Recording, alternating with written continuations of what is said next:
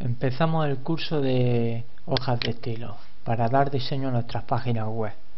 Las hojas de estilo son una herramienta muy potente a la hora de, mejorar el rendimiento de nuestras páginas web.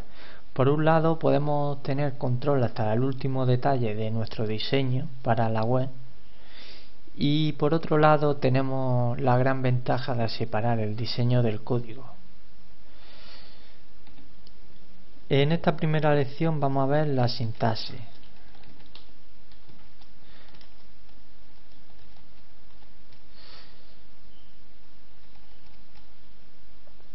Estas siglas CSS son las siglas en inglés de hojas de estilo en cascada. También comúnmente se denomina al código que para generar las hojas de estilo se le denomina código CSS. He implementado un código CSS o una hoja de estilo para asimilar los distintos componentes del código.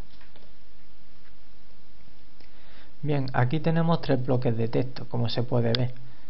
Tenemos este, este y este bloque de texto. Esto podría ser perfectamente una hoja de estilo, de hecho lo es. Aquí la tenemos. Bien, en principio cada bloque de texto se le denomina regla. En este caso tenemos tres reglas, la primera, la segunda y la tercera. Una regla está formada por dos componentes. El primero se le denomina selector y al segundo se le segundo se le denomina declaración o declaraciones es que en esta segunda parte de, de, la regla puede haber distintas declaraciones. Bien, una cosa que hay que saber es que las declaraciones se encierran dentro de llaves. Aquí tenemos la llave que abre las declaraciones y la llave que cierra las declaraciones. En cuanto al selector, estos toman unos valores que conectan con la etiqueta HTML. Por ejemplo, la etiqueta para controlar la etiqueta HTML para controlar el párrafo de una página web es la etiqueta P. Pues podemos conectar esos párrafos de nuestras páginas web mediante el selector P. Igual sucede con la etiqueta H1, que son las hojas de, que son los títulos de las páginas HTML. Podemos conectar estos títulos con la hoja de estilo por medio del selector H1. Bien, en cuanto a las declaraciones, estas a su vez tienen dos elementos, que son las propiedades y los valores. Las propiedades y los valores hay que separarlos por medio de dos puntos. Y siempre al final de una declaración hay que poner un punto y coma.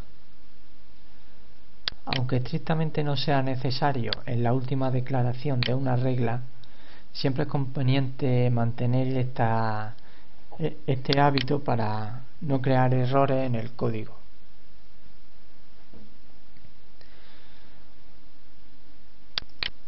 También podemos poner comentarios.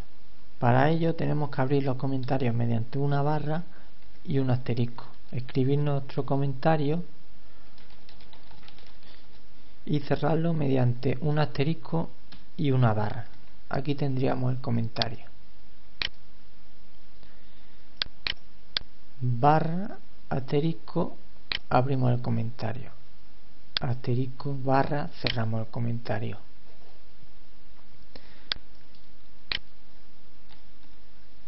También es bueno organizar visualmente las hojas de estilo.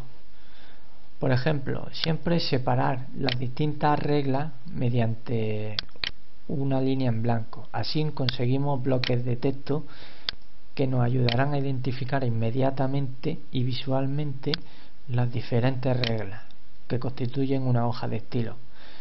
A su vez siempre es bueno dejar un pequeño margen en en la línea del selector dejar un espacio entre selector y llave y también poner las declaraciones en una línea aparte que el selector. También dejar un margen para las declaraciones bastante amplio y otro margen menos amplio para la llave de cierre. Esto ayuda muchísimo visualmente a la hora de encontrar una determinada regla o selector. Imagina si tuviéramos las reglas puestas así, todo en la misma línea. Pues sería más difícil discernir visualmente las distintas declaraciones. Como ves, hombre, aquí pues no sería tan difícil porque solo hay dos, dos declaraciones, pero imagínate una regla que tuviese 20 declaraciones, que no es raro en un desarrollo para una página web. Vamos a dejarlo como estaba. Y aquí la llave. Así.